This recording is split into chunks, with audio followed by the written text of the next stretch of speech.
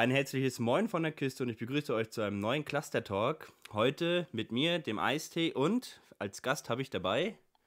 Als Gast. Hallo, Flash. Gast, Oder stimmt. Flash ist gar kein Gast. Unser, unser Cluster-Host, der Flash Tiger, ist auch mit dabei. Ähm, war eigentlich klar, wir, wir machen ja einen Büchertalk. Das seht ihr in der schönen äh, Überschrift vom Video. Und heute soll es um das Video gehen Stiller Sturm. Ich glaube, im Englisch ist es Silent Storm. Mhm, ne? Genau. Ähm, genau. Und wir haben uns, äh, ja, das Buch äh, zu Herzen genommen und einmal durchgelesen. Äh, es hat etwas gedauert. Ich glaube, wir haben jetzt knapp ein Jahr gebraucht. Ähm, die Schuld liegt aber bei mir, weil ich Diesmal. Ewigkeit nicht aus dem Pott gekommen bin. Ich brauche ja sonst immer ewig, um zu lesen. Und habe genau, dann quasi genau, zwei Drittel gelesen. Dann hast du gesagt, ach, ich lese wieder. Dann habe ich wieder zwei Drittel gelesen. Und jetzt haben wir es beide genau. geschafft. Genau, der Flash war so clever und hat sich ein bisschen eine Inhaltsangabe gemacht. Das bedeutet, ähm, er konnte sich etwas auffrischen, aber seht es äh, dem Flash nach, wenn ein, zwei Details nicht ganz äh, ja, präsent sind. Bei mir ebenso. Ähm, ich vergesse schnell mir wieder was. Und ähm, damit ihr alle in so eine schöne Stimmung kommt, äh, lassen wir mal wieder den Ishma den Klappentext oder besser gesagt hinten den Text einmal vorlesen. 2526. Vor rund einem Jahr hatte die Menschheit ihren verheerenden ersten Kontakt mit einem theokratischen Verbund außerirdischer Spezies, die sich die Allianz nennt. Jetzt haben die Feindseligkeiten zu einem offenen Krieg geführt und das Weltraumkommando der Vereinten Nationen, UNSC, weiß praktisch nichts über diesen neuen Feind. Es gibt nur zwei Gewissenheiten. Die Allianz ist fest entschlossen, die Menschheit auszulöschen und sie verfügt über die nötige Technologie, um genau das zu tun. Die einzige Hoffnung des UNSC sind die Spartans. Dabei handelt es sich um genetisch verbesserte Supersoldaten, die in einem Geheimprojekt von Kindesbeinen an zu lebenden Waffen erzogen und ausgebildet wurden.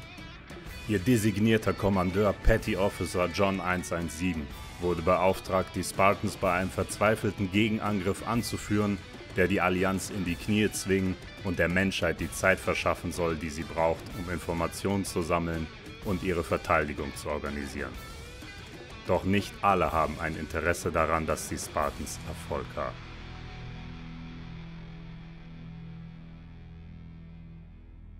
Danke, Ishma, für diese sehr atmosphärische Einstimmung in dieses Buch. Und ähm, ich glaube, was am besten wäre für alle, ist einmal eine kleine Inhaltszusammenfassung von dem Buch. Und ich versuche mich da direkt mal. Und zwar ist das Ganze angesiedelt in der Zeit noch vor Reach aber so wie ich das jetzt erfahren habe, nach Harvest. Wenn ich irgendwas falsch sage, Flash, äh, gleich intervenieren. Genau. Eingrätschen. Ein Jahr nach Harvest. Ist richtig, oder? Ein Jahr nach Harvest. Ah, guck mal, siehst du? Ähm, genau. Und wir sind quasi jetzt in, ja, in der Zeitspanne dort, wo die ersten Kolonien der Menschen verglast werden. Und wir begleiten dabei noch den sehr, sehr jungen Master Chief und die anderen Spartans. Ich glaube, es waren dann zwölf an der Zahl. Mhm. Und ähm, das sind dann die verschiedenen Teams. Ich glaube einmal das von uns auch bekannte Team Blau, ähm, wo Kelly dabei ist. Es gibt auch einen kleinen Wink äh, zu dem äh, Buch, das wir vorher, oder die Buchreiche, die wir vorher durchgenommen haben. Und zwar Naomi wird auch einmal namentlich erwähnt. Das heißt, äh, sie ist mit dem Master Chief tatsächlich persönlich auch auf Mission gewesen. Und ähm, fix zum Inhalt wieder. Wir verfolgen quasi dieses Team, wie es ähm, versucht, die Allianz bei dem Vormarsch aufzuhalten. Und ähm, ich glaube, das ist auch nicht zu viel Spoiler, wenn wir sagen, dass sie dabei immer Art, ja, wie nennt man das? Ähm, Anker? Nee, nicht Ankermission, sondern sie überfallen quasi die Entern. Schiffe. Enten, danke, Mann. Ich komme von der Küste und bin auf das Wort Enten nicht gekommen. Sie enten Allianzschiffe. Das wird in diesem Buch äh, mehrfach passieren. Und ähm, dafür wird ein Spezialtrupp aufgerufen, bei dem auch der uns sehr bekannte Charakter Johnson dabei ist und viele ODSTs. Und im Laufe dieser Mission gibt es äh, einige Probleme, äh, interner Seite, aber auch externer Seite. Und am Ende, ja, endet es in einem großen Showdown, bei dem der Allianz, äh, ich würde mal doch sagen, ein, äh, ja, ein großer Stein in den Weg gelegt wird, der den Vormarsch der Allianz auch ähm, gut aufhalten wird. So würde ich das jetzt einmal zusammenfassen. Mhm. Äh, ja, genau. Und ähm, wir haben uns gedacht, dass wir diesmal das so strukturieren, ähm, dass wir die einzelnen quasi ja, Missionen, die in diesem Buch äh, besprochen werden, äh, durchexerzieren. Es gibt vier Stück an der Zahl. Ähm, die werden wir jetzt einzeln alle besprechen. Und jetzt wird auch, würde ich sagen, die klare Spoilerwarnung ausgesprochen, weil äh, jetzt können wir nicht mehr an uns halten. Jetzt werden die Fakten auf den Tisch gelegt. Genau, das Spoiler, Spoiler-Feuerwerk beginnt. Also wir werden die ganze Geschichte nacherzählen und diskutieren. Genau. Genau. genau. Aber ähm, bevor der richtige Spoiler losgeht, ähm, nochmal, auch dass du ein bisschen in, die Stimmung kommst, Flash, äh, hm. bei dem Talk jetzt. Wie war für dich das Buch eigentlich? So, wie, wie empfandest du das so? Auch so ein bisschen ähm, vom, vom Lesestil? War gut, war schlecht? Also, ähm, ganz am Anfang war ich ja überrascht, weil ich habe gedacht, das ist ja jetzt ein neues Buch. Also, das ist ja äh, vor zwei Jahren erschienen. Ne? Das war ja überrascht, jetzt wieder was auf Deutsch zu lesen ähm, ja. von den neueren Büchern. Und ich dachte, ja, dann geht es auch weiter. Also so zwischen Halo 5 und Infinite. Oder Infinite und weiter. Und war dann erstmal irritiert. Also, dass es dann in der Vergangenheit spielt, ne? Wie wir gesagt haben, ein Jahr nach Harvest, also nach dem Erstkontakt, ein Jahr danach. Da war ich erstmal überrascht, aber ich fand es auch ganz, ganz witzig und vom Lesestil, ich habe es ziemlich gut durchbekommen. Also es war sehr einfach.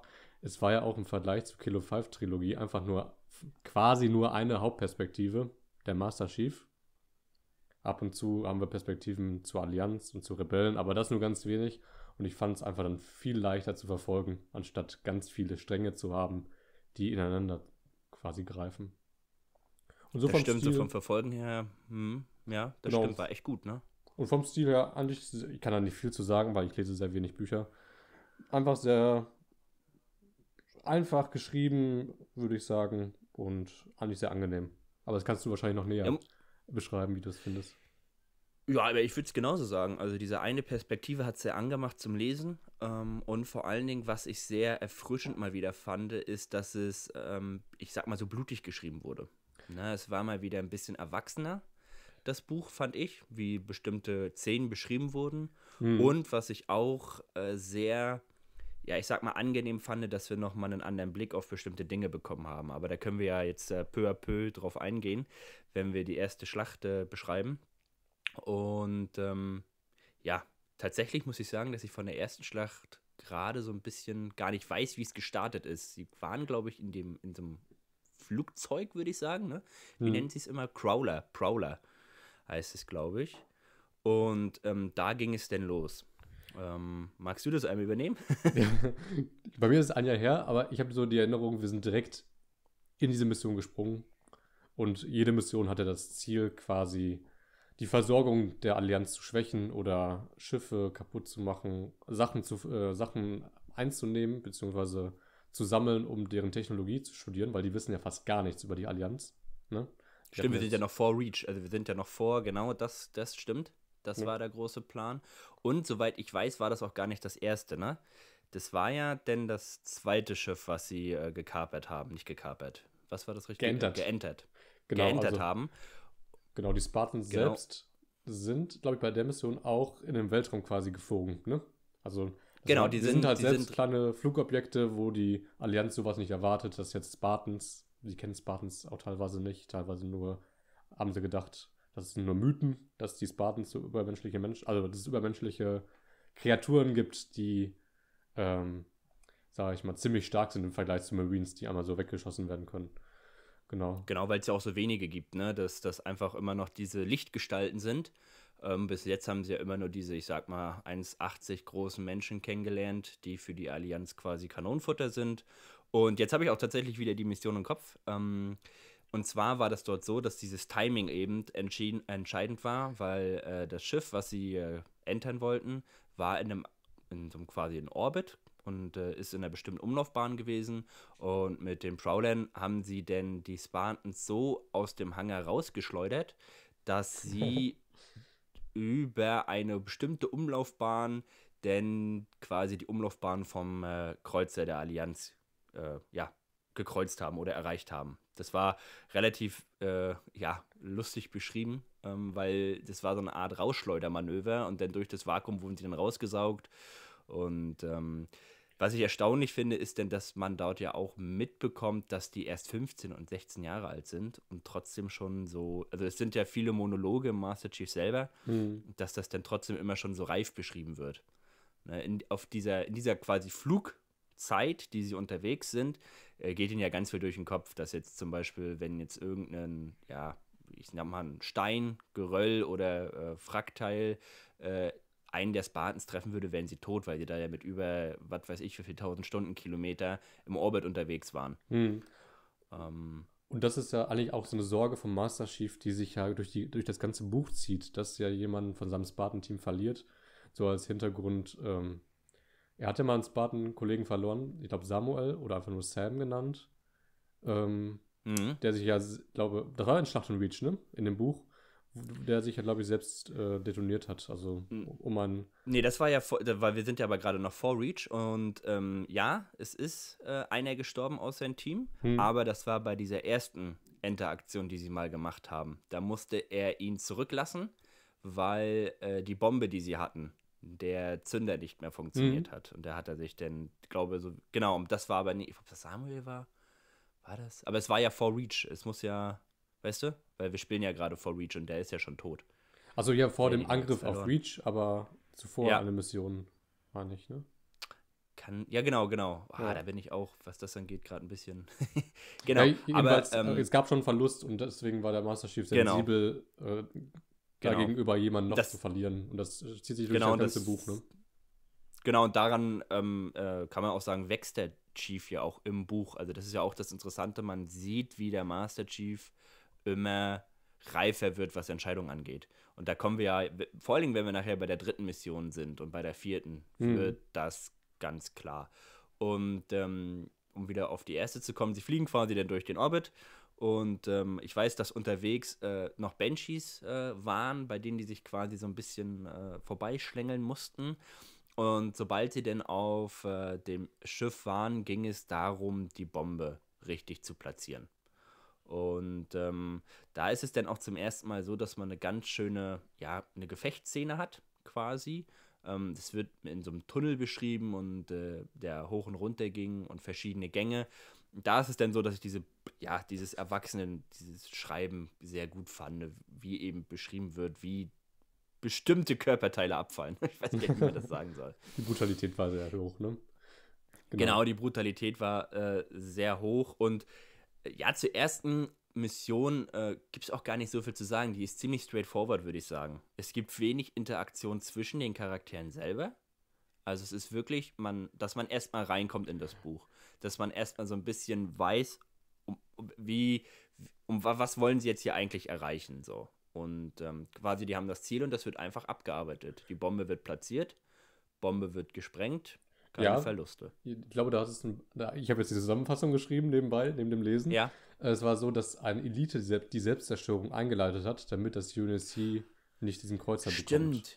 Weil die wollen Stimmt, ja die Technologie haben, um die zu erforschen und vielleicht die eigene äh, Technologie der Menschheit aufzuwerten. Aber der Elite hat dann die Selbstzerstörung eingereicht, äh, eingereicht, genau, äh, eingeleitet und alle Spartans konnten aber dann trotzdem fliehen. Was ich aber an diesem Kapitel, ich fand es richtig schlimm, weil du gesagt hast, gut ankommen in das Buch, wo die mhm. auf dem Kreuzer waren, diese Gänge wurden beschrieben, dass sie an, auf einmal nicht nur auf dem Boden laufen, sondern auch dann an den Wänden ja. und an der Decke. Also, Stimmt. dass es so eine Spirale ja. gab oder die Gravitation war anders und das ist halt komplett anders als in den Spielen. Und ich konnte mir das räumlich ganz schlecht vorstellen. Und dann gab es einen Lift wo dann Leute reingefallen ja, sind und ja, wieder hoch genau, und dann wieder, ja. also hin und her und ich weiß nicht, ob es Und Granaten auch rein und raus reingefallen sind und alles, ne? Ja, das also war ganz schlimm von der räumlichen Vorstellung und ich hatte immer den Drang, ach, jetzt äh, lese ich nochmal die letzten zwei Seiten, weil ich habe nicht verstanden, was da gerade passiert. Dann laufen wir an der Decke und an den Wänden und dann geht der Lift und dann geht die Tür auf und also all, alles ein durcheinander. Aber es wirkt auch ein bisschen äh, ähm, Alien-ähnlicher. Also, dass man nicht weiß, was es jetzt so ist. Ne? Weil wir kennen das ja schon, wir haben ja schon Bücher und Kapi äh, Dinger gelesen, aber die Spartan an sich kennen die Allianz noch nicht so gut. Und dann wirkt das noch ein bisschen fremder, ne? befremdlicher. Ja, das auf jeden Fall. Und ähm, du siehst es ja auch daran, dass ähm, während dieser ersten Mission geben sie denn den Eliten den Namen Elite. Weil das irgendwie äh, sind sie da dann auf den Namen gestoßen, weil sie das so zum ersten Mal auf die mitgestoßen sind. Hm. Und dann haben sie denen den Namen gegeben. So. Ne? Also das heißt, man merkt daran, dass dann solche, ja, ich sag mal, solche kleinen äh, Wings mit dem Zaunfall, weil wir wissen, die heißen so. Da wurden sie aber beschrieben, okay, das sind die Elite-Krieger, deswegen nennen wir sie jetzt Elite. So. Und ich glaube, der eine hat auch äh, irgendeinen anderen Namen noch für die gehabt, aber bei Elite ist es geblieben. Das hat der Chief dann auch so in dem Kommen gesagt, hier, wir nennen die jetzt so. Und äh, so kann man eben äh, als Leser ganz gut nachvollziehen, auch als jemand, der neu reinkommt in die Serie, hm. äh, warum ist jetzt das so gegeben, wie es ist. Ich, generell finde ich, dass dieses Buch, und ich glaube, es ist ja eine Reihe, es kommt dann ja auch noch Reach und noch ein anderes Buch, ähm, die auch von äh, dem gleichen Autor geschrieben wurden, ähm, dass ich glaube auch, dass dieses Buch sehr gut ist für den Einstieg in diese Halo-Reihe. Ähm, weil eben vieles beschrieben wird, weil es ja für den Master Chief und die anderen Charaktere auch Neuland ist. Mhm. Deswegen gibt es eine kurze Umschreibung und es kann äh, jemand, der neu ins Halo-Universum äh, reinkommt, dadurch auch gut nachvollziehen. Das, ähm, das gab es genau, jetzt ganz oft. Ne? Also wir haben jetzt immer die Leute beim Entdecken erlebt, obwohl wir selbst wissen, ja, da gibt es doch High Charity oder da gibt es ja die und die und die Strukturen. Ähm, genau. Da haben wir zum Beispiel so Anteaser schon direkt erkannt, wo vielleicht Einsteiger dann dann das so irgendwann mal kennenlernen. Genau, genau, diese, ne, auch, also es ist generell so, wenn in diesem Buch über was gesprochen wird, zum Beispiel ähm, sieht man auch in einem anderen Kapitel oder hört man, dass es dort, da gibt es auch einen Propheten und der spricht dann von den heiligen Städten. Wir wissen, was damit genau gemeint ist, das ist eben von den Blutsvätern, dort wird es aber nochmal kurz umschrieben. Was mhm. ist denn jetzt da mit der heiligen Stadt gemeint? Ah, von denen, die sie denken, dass es die Götter sind und deswegen gibt es die große Reise. Die große Reise wird dann auch nochmal kurz beschrieben. Deswegen empfand ich das Buch eigentlich als ganz gut zum Einstieg. Wenn du da noch nie wirklich was gehört hast, klar ist es immer vom Vorteil, ab und zu mal was zu googeln.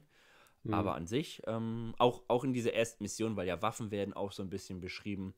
Und ganz lustig, als ja die Elite diesen Zünder zündet an dem Stuhl da war es für mich echt schwer, diesen Stuhl mir vorzustellen, wo er drauf saß. Weil die Hand soll denn ja irgendwie da gehangen haben, irgendwie ja. auf den Stuhl. Und ich hatte dann aber nachher das Bild äh, vor äh, oder im Kopf vom äh, der Halo 3 Cutscene, wo die, die, der Schiffsmeister, der Weiße, auf diesem Stuhl sitzt und dann mit diesen Brutes 3 gegen 1, dann ist es fair. Falls ja. du die auch so im Kopf hast. Mhm, da sitzt er ja auch auf so einem, auf so einem, Thron, so einem ne? Stuhl. Und ja, so eine Art Thron, aber nicht so ein Gravi Thron, wie die Propheten das immer haben. Mhm. Ähm, genau. Und genau, das ist das nächste, die, die ganzen Rassen werden auch nochmal kurz umschrieben, wie sie aussehen. Ähm, also da wird nicht einfach nur geschrieben, ja, hier, das ist ein Ungeheuer und komm klar damit, sondern da wird geschrieben, dass er noch einen Gastank auf dem Rücken hat. Ne? Und das, äh, ich kann mich auch daran erinnern, dass zum Beispiel gesagt wird, dass ähm, als äh, die quasi die Spartans und äh, ich glaube auch mit Dr. Halsey, dass sie sich schon ein bisschen besser denn in diese Allianz reingefunden haben, quasi reingelesen haben, dass sie dann wussten, dass die meisten von der Allianz auch unsere Atmosphäre quasi mitatmen, außer eine Spezies. Mhm. Ne? Für uns, als die wissen, wer damit gemeint ist, oder die, die Lore kennen, die wissen, da sind die Ungeus mit gemeint, also die Grunts, genau. weil die ja diese Gastanks haben. Gut. Ähm, Nochmal die Frage vielleicht, ähm, wie findest du denn, dass es immer jetzt oder häufiger in den Büchern auch für Neulinge etwas präsentiert wird, wo du denkst, ach ja, weiß ich doch. Also kann man ja auch negativ betrachten. Oder wie findest du das? Ich finde es ich find's eigentlich gut, weil man selber ja auch immer mal wieder was vergisst. So Kleinigkeiten. Ne? Zum Beispiel, dass eine Elite keine fünf Finger hat, sondern äh, vier oder drei. Vier oder drei. Siehst du, ist es schon wieder so, ne? Solche Kleinigkeiten. Und dann, wenn man das liest, dass man sich einfach nochmal das wieder zurückruft, das Bild, wie es wirklich ist. Weil was auch passiert ist oft, wir haben ja schon vieles vorgegeben durch die Spiele, wie es aussehen soll. Aber beim Lesen tendiert man dann doch immer noch wieder dahin, sich das selber vorzustellen. Ist natürlich auf der einen Seite gut, aber ich finde, wenn etwas schon klar definiert ist durch ein Videospiel zum Beispiel, hm. dann sollte man sich auch daran halten, wie es aussieht. Ne? Nicht, dass eine Elite auf einmal acht Kiefer hat, so nach dem Motto. Und ja. ähm, an sich ist es ja, ja, äh, ab und zu dreht man mal mit den Augen, aber ich habe das jetzt auch in keinem der Bücher so gehabt, dass es sich ja über Seiten zieht. Ne, dass über Seiten da jetzt was beschrieben wird. Ich habe jetzt zum Beispiel Herr der Ringe gelesen, das erste Buch, da wird ja über Seiten eine Landschaft beschrieben. Sowas haben wir ja zum Glück nicht. Da wird nicht über Seiten beschrieben, wie jetzt äh, ein Kreuzer, ja. wie der Gang genau aussieht, ne? sondern es hält sich ja eigentlich immer äh, in einem kleinen Rahmen, dass man, äh, ja, eine Auffrischung hat oder eine kleine Einführung für Neulinge und dann darauf aufbaut. Also mich stört das nicht. Stört es dich? Ich fühle mich eher schlau. Ich so, ah, ich weiß das, ich weiß das schon. Vergleich zu den Figuren. Ich weiß, was jetzt kommt. Ja, und manchmal sind es nur, also, also wirklich so, ähm, so Sachen, so angeteaste Sachen, wo man nicht genau, wo man als Erfahrener vielleicht mehr weiß als jemand anderes. Ne? Also, dass man so sagt, später kommen wir dazu, Holzsee hat später eine Karte und dann kam, ähm, hat sie gesagt, komisch, das ist ja, da ist ja gar kein Planet, wo ich dann so sagen kann, ja, das ist vielleicht High Charity. Also da, hat man vielleicht so selbst so Schlussfolgerungen, die man machen kann mit den Erfahrungen. Ne? Das ist ganz lustig. Ja, genau, stimmt, stimmt, dass du einfach schon äh, über das Geschriebene hinaus Wissen hast. So, genau. und da, ich glaube, damit spielen die Autoren dann ja auch. Mhm. Ähm, einmal das einsteigerfreundlich zu machen, dass es irgendwie verständlich ist, aber auf der anderen Seite auch immer irgendwie, ich sage immer gerne mit diesem Soundfall winken, ne? Hier, guck mal, für die, die es wissen, da, ich weiß das auch so nach dem Motto. Und hier, jetzt könnt ihr euch schlau fühlen. Mhm. Das stimmt schon. Und ähm, genau, dann wird das Schiff auf jeden Fall zerstört, um da wieder zurückzukommen. Und ähm, dann gibt es ja, soweit ich das jetzt noch im Kopf habe, also es wird ja selbst zerstört, dann gibt es ja einen kleinen Switch nochmal zu einem uns sehr bekannten Charakter, mhm. den wir aus Halo 2 und 3 kennen. Ähm, genau. Das Ganz müsste genau. Johnson sein oder? Ja. Sergeant genau. Avery Johnson. Man weiß es aber nicht direkt, dass es Johnson ist, so wie ich das noch beim Lesen richtig weiß. Es gibt erstmal so eine kleine Einleitung. Und ähm, warum wurde Johnson denn ausgewählt? ähm, Was ist denn jetzt quasi dieses Zwischengebiet zwischen erster Mission und zweiter Mission? Und für was wurde er ausgewählt? Genau, also er war ja in so einer Konferenz mit dann mehreren Ranghöheren. Er wusste auch nicht genau, wer das, glaube ich, war, weil die so hoch im UNSC waren, dass ihm nicht alle bekannt waren. Und er war quasi dann in dieser Konferenz, in dieser Missionsbesprechung so der Praktiker, also der schon mehrere Schlachten hinter sich hatte. Und die anderen waren ja eher so die taktisch ihre Überlegungen gemacht haben. Und dann wollten sie aber Johnson auch mit im Team haben, um halt zu erfahren, wie es auf dem Schlachtfeld ist. So habe ich es in Erinnerung. Genau. Und er soll genau. dann halt und eine Mission mit begleiten, nicht anführen, sondern eher begleiten. Und die Spartans genau. sozusagen führen. So meine ich das, ist das, ne? Genau, was vor allen Dingen äh, das, das, das Wichtige war, oder was eben äh, auch klar rauskommt, da die Spartans ja sehr jung sind, sie sind zwar seit sie Kinder sind Soldaten, aber was ja, was eben Johnson und die anderen noch lernen müssen, ist richtige ja, Gefechtserfahrung. Das wird auch immer klar gesagt, dass sie nicht so wirklich äh, Kampferfahrung haben, dass sie nicht improvisieren können und dass denen auch noch dieses, ähm, ja, wie nennt man dieses Sprachgefühl fehlt. Und da ja. soll Johnson dann immer so ein bisschen, bisschen mithelfen. genau. und ähm, der wurde dann sozusagen ja. auch ähm, so der Mentor vom Master Chief, ne? wie man so mit Ranghöheren spricht äh, und wie man seine eigenen Ziele so durchsetzt. Genau, genau, ne? Und dass man auch einfach mal, äh, wie heißt es immer so schön, äh, wenn Scheiße fliegt, Kopf einziehen und nicht äh, gerade rausstrecken. Und was auch wichtig war, ist, dass Johnson ja bei den Scharfschützen war und dass der die militärische Ausbildung ja irgendwie auch irgendwie was, irgendwas vor den Spartans, was da mal war. Da gab es auch so ein Programm, das wurde dann aber beendet. Orion-Projekt hieß das, oh. glaube ich, ne? Das war so ein Testlauf oder fehlgeschlagener Spartan, Spartan-Programm, das ne? Kann, kann, kann sein. Und da, ja, doch, kann sein, genau. Und dadurch kennt er sich dann eben auch mit einigen Taktiken aus, die auch die Spartans wieder ja beigebracht bekommen haben. Oder genau. Oder die sie lernen. Und dadurch war er dann eben prädestiniert für die Mission, die äh, jetzt angegangen wird. Um was für eine Mission handelt sich denn? um, ähm, weißt du das noch? Die heißt Stiller Sturm. Haha. Richtig. so wie das Buch. Und es geht halt darum, quasi, dass man mit getarnten äh, Flugobjekten, Raumschiffe, ähm, quasi weitere, äh, weitere Allianz, ähm, wie heißt das? Flotten angreift. Ne? Also man möchte auf jeden Fall ein Schiff haben, das auch nicht zerstört ist. Das ist, glaube ich, so die Hauptmission. Also zumindest das Ziel war es am Anfang. Darauf ist es aber dann nicht gelaufen, sondern die sind dann auf einen Mond quasi gegangen, wo sie dachten, da können wir die Allianz abfangen. Aber dann gab es ja noch die Rebellen, die noch da mit reinspielten. Weil die Rebellen, oder beziehungsweise die Menschen, die auf den äußeren Kolonien, auf den Planeten, die weit weg von der Erde sind, lebten, werden ja vom UNSC ein bisschen benachteiligt oder äh, wollen sogar übernommen oder werden übernommen vom Unity in der Führung, obwohl die unabhängig sein möchten. Und da gab es ja dann auch lange diesen Krieg zwischen Menschen und Rebellen. Und der ist ja noch nicht abgebrochen, so wie ich das mitbekommen habe, ne? Sondern die Genau, Rebellen ja möchten immer noch gegen den UNSC ankämpfen und jetzt die Allianz nutzen, die äh, UNSC äh, zu schwächen, beziehungsweise auch die Spartans loszuwerden. Genau, das ist eben, du hast dann, ja, ich sag mal, wir haben quasi die Master Chief Story, aber immer so kleine Einblicke denn mal äh, für zehn Seiten bei den Aufständischen jetzt eben oder dann auch mal bei der Allianz. Und die Aufständischen wollen eben mit der Allianz kurz kooperieren, um, damit äh, quasi die UNSC von denen vernichtet wird und sie dann unabhängig sind. Also ja, das ist so ein, so ein, so ein falsches Spiel so ein bisschen, aber die Allianz hat quasi, die stimmt dem zu, aber hat gar nicht das Ziel, die zu verschonen. Sobald die, äh, die Aufständischen denn unwichtig für die wären und die Informationen von denen ausgesaugt sind, hätten sie die auch verglast. Ja. Und ähm, es geht eben darum, dass auch der eine Planet, äh, ich weiß gar nicht mehr, wie er heißt, ähm, das, von dem der Mond ist, Biko? ähm, Biko, genau, Biko, ähm, dass die äh, Aufständischen dort auch schon mehrere quasi Sturzversuche gemacht haben der Regierung, das aber nie geklappt hat und jetzt mit der Hilfe der Allianz, wenn da die Verwirrung groß ist, wollten sie es dann eben auch nochmal versuchen. Ja. Und der Witz an der ganzen Sache ist, dass ähm, der Mond, das ist so ein Eismond, bei, äh, auf dem äh, ja quasi Eis abgebaut wurde, ähm, um die, diesen Planeten zu kühlen, so wie ich das mitbekommen habe.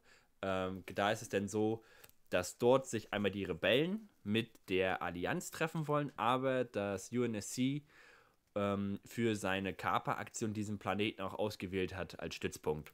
Und Mhm. deswegen kommt es dort zu einer Überschneidung und zu einem Gefecht, was ja gar nicht geplant war. Also, das ist quasi dann die Mission 2, die dann eigentlich gar nicht als Mission geplant war, sondern spontan zu einer Mission wurde, weil äh, auf, äh, ja, wie nennt man das so, auf äh, Widerstand getroffen wurde, obwohl gar nicht damit äh, gerechnet Genau. zu rechnen war.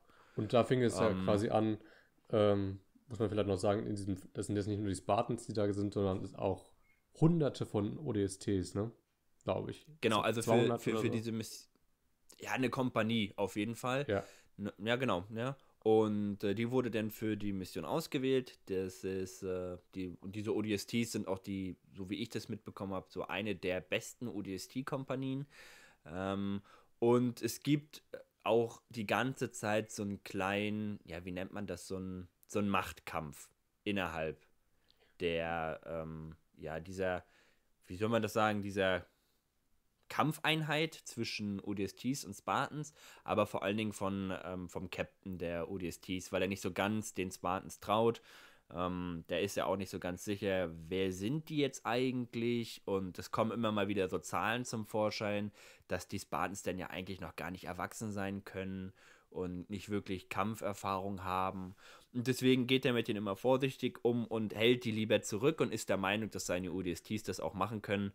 Ähm, obwohl die Spartans für ja einige Sachen einfach viel besser geeignet werden. Und ähm, bei dem Ganzen haben wir auch in der ersten Mission vergessen, bekommt man immer noch so ein bisschen mit, dass irgendwie ein Mitglied in dieser Einheit versucht, das Ganze von innen heraus zu zerstören, also zu korrumpieren. Anders Mhm. kann man das, glaube ich, gar nicht sagen.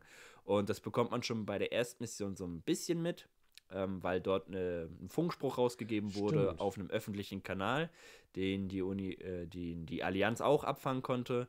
Und jetzt bei der quasi zweiten Mission, in der wir uns gerade befinden, wird auch etwas gemacht, ähm, was dann eben äh, ja gegen die Einheit der ODSTs äh, arbeitet, aber auch ganz klar gegen die Spartans. Äh, Und gegen die richtet sich eigentlich primär dieser, Mhm. dieser ja, Hinterhalt, kann man ja schon fast sagen, oder diese, diese kleinen Spitzfindigkeiten. Und ähm, was mir immer ganz gut im Kopf kommt, ist, wenn es darum geht, dass die äh, ODSTs vorgeschickt werden, obwohl die Spartans besser waren, ist diese eine Szene, wo das Gefecht dann auf dem Mond startet. Ich glaube, da haben wir auch schon mal kurz drüber gesprochen. Genau. Ähm, Ich würde da ganz am Anfang anfangen, weil ich das so überraschend krass fand. Das war ja so, dass sie von dem Pelican äh, abspringen. Oder, oder Prowler. Oder was auch Prowler. immer. Also ein Raumschiff Prowler, ja. abspringen vom Hangar, Ja. um dann ähm, auf dem Boden zu landen und dort zu kämpfen.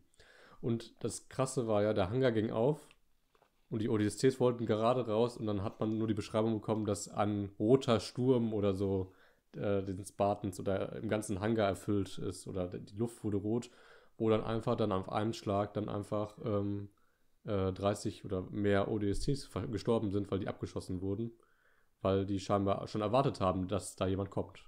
Ne? Das war ja auch so ein Ding Genau. ähm, wo die schon die Informationen hatten, da kommt jemand, waren vorbereitet, äh, quasi das Flugobjekt abzuschießen.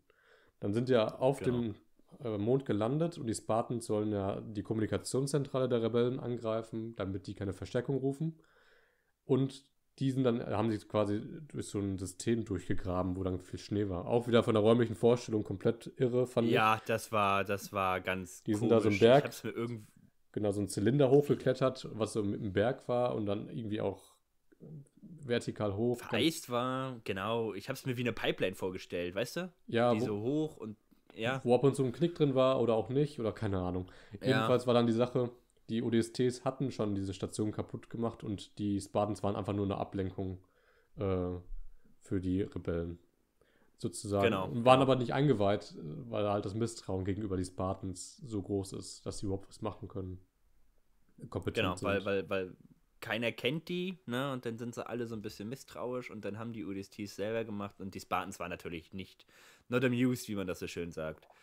Ähm, und was, was auch ganz klar, dass man dort immer diese, diese, ja, wie, wie soll man das sagen, diese, diese Erwartung von den, von den Rebellen, dass die Allianz kommt und dass sie dann aber die UNSC empfängt, das schwirrt auch die ganze Zeit so drüber. So auch nach dieser, dieser Com-Mission, die du gerade beschrieben hast, Mhm. ähm, gibt es ja eine Nachbesprechung und da fragen die sich auch, wie, wie konnten die jetzt, wie, wie, wieso waren die sofort schussbereit?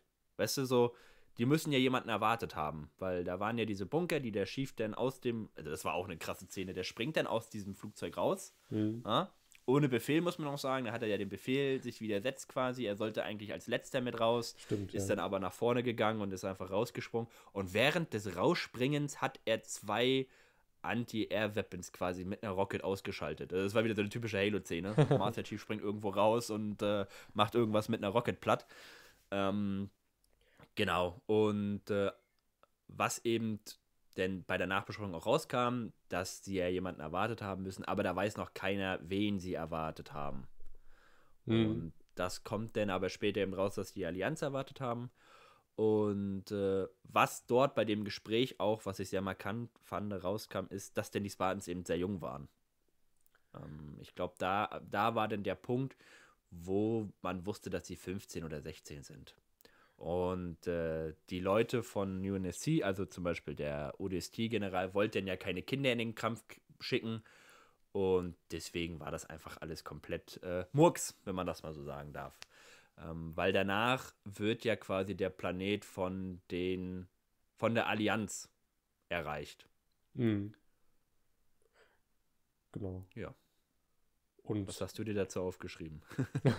Natürlich die ganze Zusammenfassung, alles, was du gesagt hast. Es war, war auch noch so, ähm, die Spartan haben nicht nur Kritik abbekommen, sondern auch Lob quasi und Zuspruch von jemandem, der aber noch nicht das Sagen hatte. Ne? Stimmt, ja. Und Ja, der, genau, also von. genau, wollen wir das schon spoilern?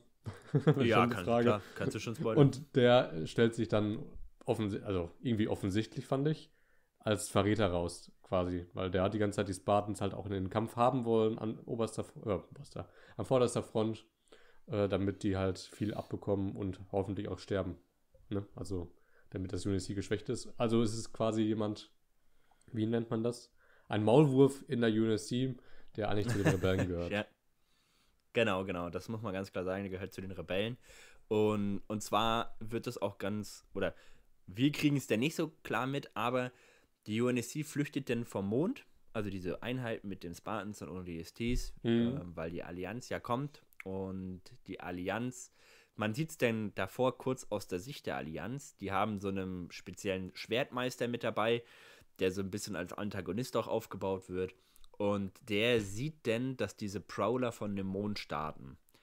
Und das sieht die ähm, sage ich mal, die, ja, wie nennt man das, die Verteidigungs- oder die, nein, die Scouter, sage ich mal so, die Scouter auf dem Schiff kriegen das nicht mit, weil diese Prowler ja getarnt sind. Deswegen wird ihnen das nicht auf deren Anzeigeboards hm. gezeigt.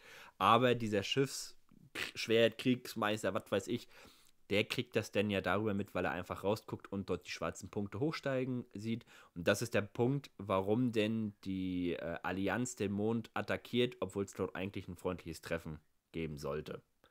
Ähm, und dann flüchtet Dionysi und beim Fluchtversuch äh, gibt es dann ja ein Problem mit dem einen Prowler, der stützt ab. Und äh, zur gleichen Zeit äh, wurden die Spartans aber nur auf dem Mond dann quasi gelassen, um die Rebellen zu bewachen, die abtransportiert wurden und gefangen genommen wurden. Die sollten die dann nur bewachen, anstatt äh, wieder an der Front zu kämpfen. Und äh, der Master Chief sagt dann irgendwann, okay, jetzt reicht's hier. Ähm, das eine, das eine, sag ich mal, der eine Prowler ist abgestürzt und wir sind die einzigen, die noch auf dem Mond sind und helfen können. Und dann rennen sie dorthin und versuchen den äh, Prowler quasi zu retten, in dem dann ja auch Johnson drin war. Mhm. Und ähm, bei diesem Gefecht wollten sie eigentlich die ganze Zeit Hilfe haben von, äh, von, von, dem, ja, von anderen Prowlern, die dann noch äh, umdrehen konnten und äh, quasi Feuerschutz geben. Und da hat dieser, dieser Maulwurf quasi Ewigkeiten rumgeflogen und hat gewartet, bis er den, äh, ja, den Spartans hilft. Und währenddessen ähm, hat auch äh, die Allianz versucht, den Prowler, in dem Johnson ist, zu bergen, weil sie auch deren Technologie wollen. Ähm, genau. Und da gibt es dann so ein kleines Gemetzel. Und am Ende sprengen sie den Prowler Johnson ist gerettet und äh, sprengen den auch noch. Dabei entsteht aber eine schöne kleine Schneelawine. Genau. Und äh, das ist dann quasi das Ende von der zweiten Mission. Ja. Soweit ich es noch im Kopf habe. Genau. Ich weiß und, nicht, ob du noch was ergänzen kannst. Ähm, ja, nebenbei starb, starb noch eine Nebencharakterin, die die Anführerin war von der Mission. Aber das war. Ach, stimmt, ja. Ist jetzt nur ein Detail. Stimmt. Dann wurde halt der ähm, der Maulwurf. Wir können ja mal den Namen sagen, damit wir ihn haben, aber Newto, Nato, keine Ahnung. Ich habe den Newton immer einfach genannt. Ja. Newton. Newton. Newton. Äh, ja. wurde dann der Kommandant, also jetzt wurde der Maulwurf quasi zum obersten Anführer äh, von genau. der Mission. Ähm, was auch noch interessant war, ist, dass dann der, der ähm, Elite, der halt ähm, der erste Klinge wurde er genannt. Also irgendwie so ein. Stimmt, erste Klinge war das, ne? ja. Ich ja. weiß nicht, ob es so ein Attentat-Elite ist, wie man es aus Halo Infinite jetzt kennt, ne? Der trifft. Ja, dann, genau, so einer ist das. Das ist so ein Special-Attentat-Eliten-Typ, genau. Genau, der trifft dann die Rebellen, wo es ganz witzig war. Da gab es dann eine Szene, wo dann aber ein Rebell dann drohte, äh, sich wegzusprengen. Er war mit Sprengsatz quasi an seinem eigenen Körper neben dem Elite und der Elite, der, die erste Klinge, war mir das eigentlich völlig egal. Er fand es nur beeindruckend, dass der, äh, dass der Mensch sich selbst umbringen möchte, um seine Ziele durchzusetzen. Ne? Aber war ihm genau. dann egal und konnte sich dann durchsetzen, dass dann der Mensch dann abtransportiert wird. ähm, genau, wurde einfach stillschweigend als kleines äh, jammerndes Kind in die Ecke gestellt, so nach dem Motto. Genau. Stimmt, die Zähne gab es, die haben sich ja doch noch getroffen, denn, ja, ja. siehst du? Die Menschen haben noch Daten angeboten und halt gesagt, dass sie Spione im UNSC haben und dann über die Mission des Spartans dann weiter berichten. Genau, stimmt. Die haben, ich glaube, über die Spartan-Rüstung haben sie denen, glaube ich, auch ein bisschen was gegeben, ne? So wie ich das noch im Kopf habe. Irgendwelche ja, Informationen? Ja, irgendwelche Daten, da, mhm. Datenkarten habe ich mir jetzt aufgeschrieben. Äh, haben sie gegeben. Genau, und dann, dann, dann ist ja quasi der Maulwurf enttarnt worden. Also von, also es ist noch nicht rausposaunt worden, aber Johnson weiß es, von, von den ODSTs, der weiß es, der mhm. Chef. Und ähm, dann wurde es so gemacht, dass ähm, alle, also die Spartans wurden weiterhin zurückgehalten.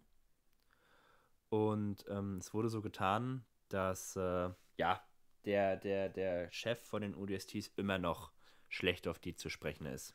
Hm. Da war noch, Und, was er noch an, wenn ich dran stützen darf, war ja, noch ein Charakter, der auch sehr skeptisch gegenüber äh, den äh, Spartans war wo dann der Master Chief äh, äh, dachte, vielleicht ist doch er der Verräter und nicht der, äh, der eigentliche Maulwurf, der ja die Spartans so gelobt hat und sich eingeschlammt hat, ne?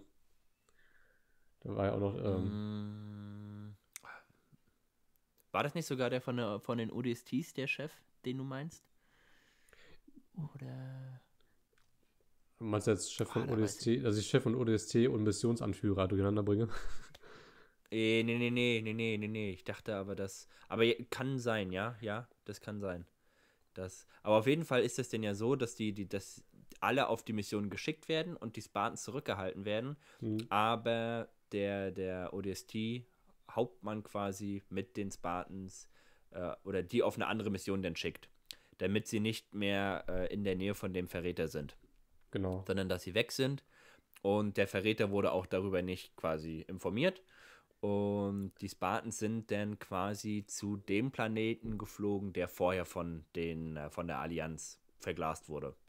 Ähm, weil der Gedanke an dem Ganzen ist ja, sie müssen ja irgendwo ihre Waffenstützpunkte haben oder ihren Treibstoff auffüllen. Und deswegen sind sie dorthin gegangen, wo es quasi, wo sie davor waren, weil sie davon ausgehen, dass dort dann noch Schiffe sind, die äh, ja bestimmte Güter transportieren. Ich glaube, so kann man es ganz gut sagen. Genau. Es geht ja insgesamt auch darum, die sind ja in diesem menschlichen System, Galaxis, wie man sie sagt, mh, eingedrungen, die Allianz. Aber die brauchen ja auch irgendwie äh, einen Versorgungsweg aus ihrer Heimat quasi. Und da wird halt gesagt, die benötigen halt auch Stützpunkte, die zuvor menschliche Stützpunkte waren, um dort Ressourcen zu lagern, um die an die Front zu bringen. Genau. Und quasi ist das denn, das ist denn die Mission des Spartans. Und das ist dann ja quasi die dritte Mission.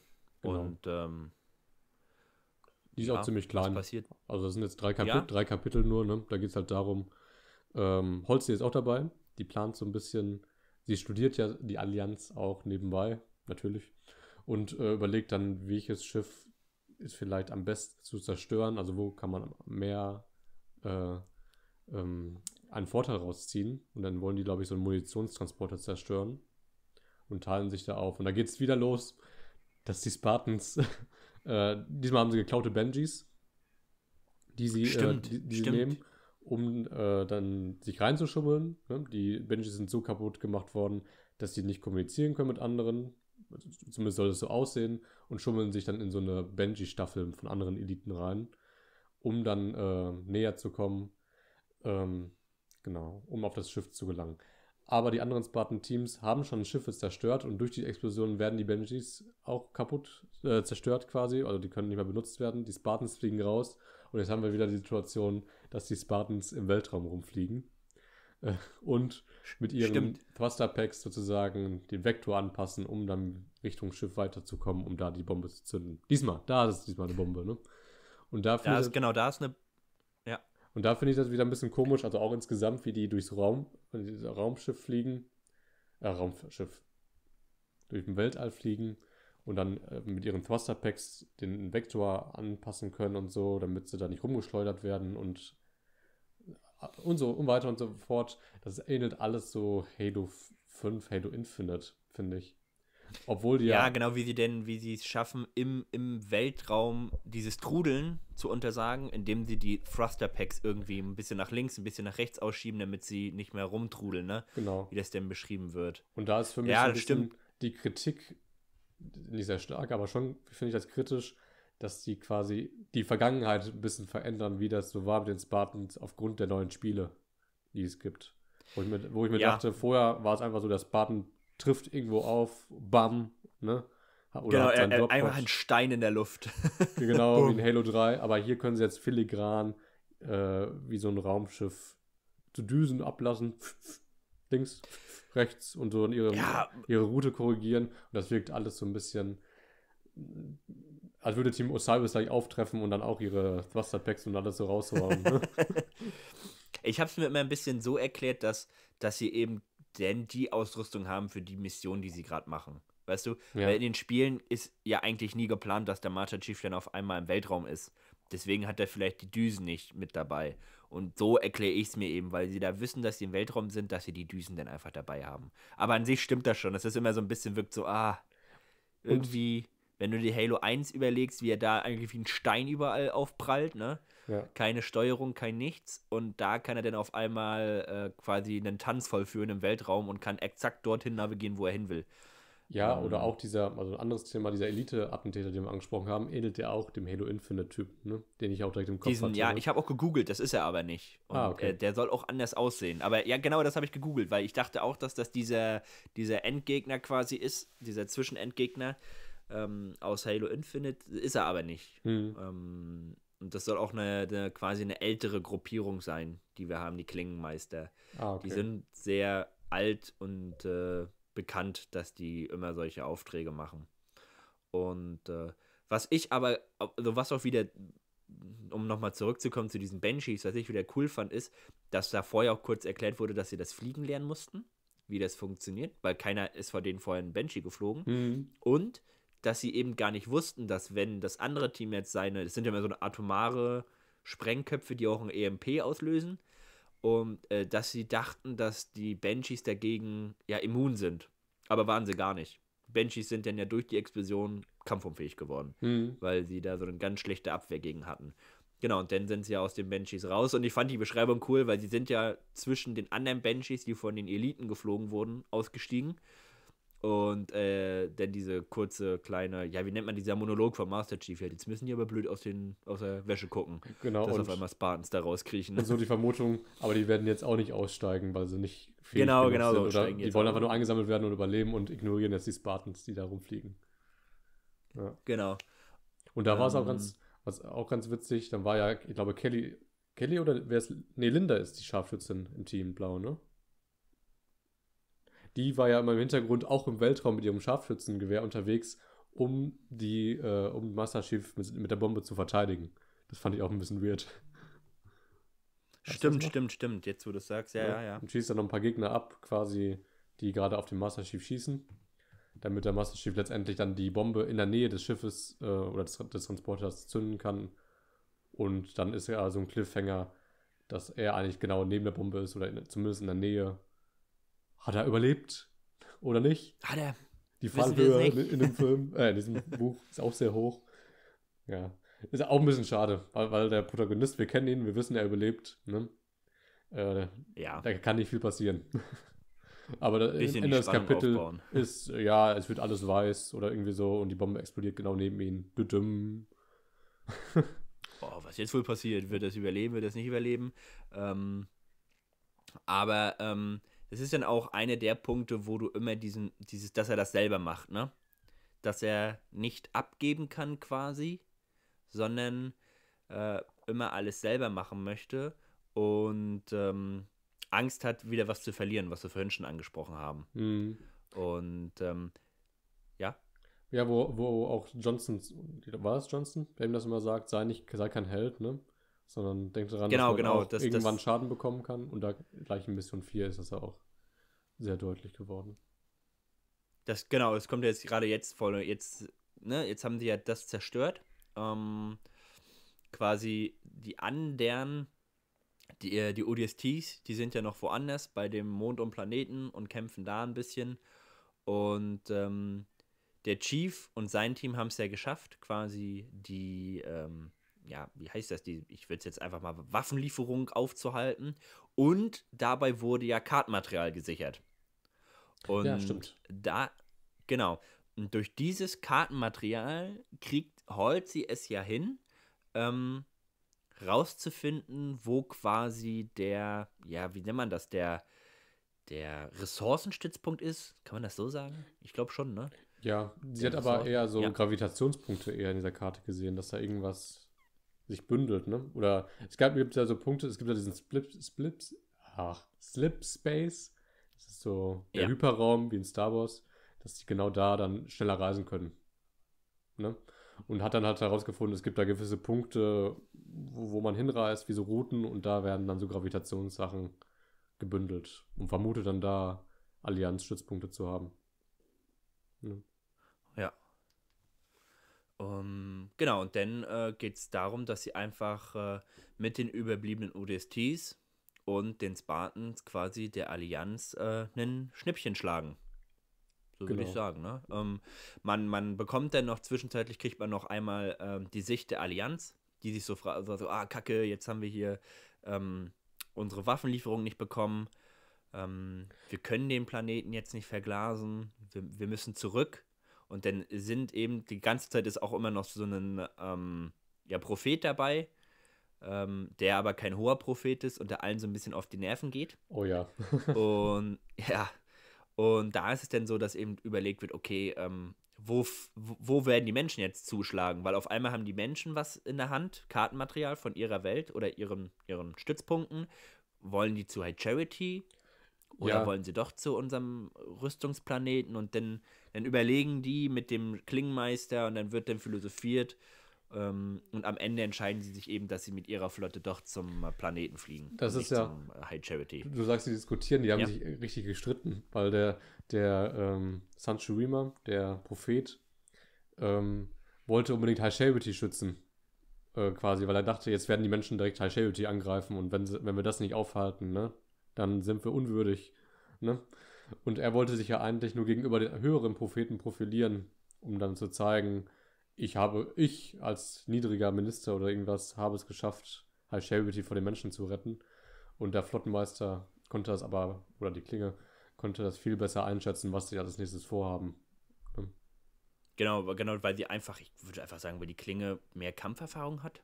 Hm. Oder, oder logischer denkt schon. Oder auch vielleicht anders, weil sie sich mehr in dieses Menschendenken reinsetzen kann. Ja, und nicht Irgendwie. politisch, ne? Der andere will ja eigentlich nur seinen Status erhöhen und der andere genau, und genau, gibt vor, genau, die heilige Reise, die große Reise zu beschützen. Ne? Das war sowieso immer so, ja, und jetzt müssen wir, genau. Und das haben die Eliten ja aber auch erkannt, dass er sich ja nur profilieren will. Hm. Und haben das dann auch immer in ihren Monologen so, ja, und, mach du mal dein Ding. Und immer diese Mordfantasien, ne? Gleich hole ich mein Partikelschwert raus ja, ja, und genau. schlacht ihn einfach ab.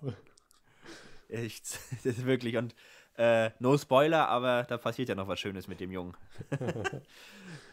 ähm, ich finde aber, dass das, das gibt diesen ganzen, dadurch, dass man das in diesem Buch einfach mitbekommt, äh, dass eben auch wieder kleinere äh, Propheten, ja, vorhanden sind in der Allianz, dass man weiß es, wir wissen das ja schon, auch aus dem anderen Buch, äh, Zerbrochener Kreis war es, glaube ich. Mhm. Ähm, aber trotzdem finde ich es immer noch mal wieder schön, und ähm, auch zu sehen, dass wenn jetzt nicht die drei Heiligen sind, Propheten, dass die anderen nicht ganz unantastbar sind, sondern dass die eigentlich sich alle nur, ist, ich finde irgendwie, das ist wie so ein bisschen in Griechenland irgendwie damals so, wie in der Politik fühlt sich das immer an mit den Propheten, dass die sich immer so, so kleine, dicke äh, Philosophen, die sich irgendwie mit irgendwelchen Intrigen versuchen, nach oben zu, zu arbeiten mhm. äh, in der Politik aber keiner kann sie wirklich leiden.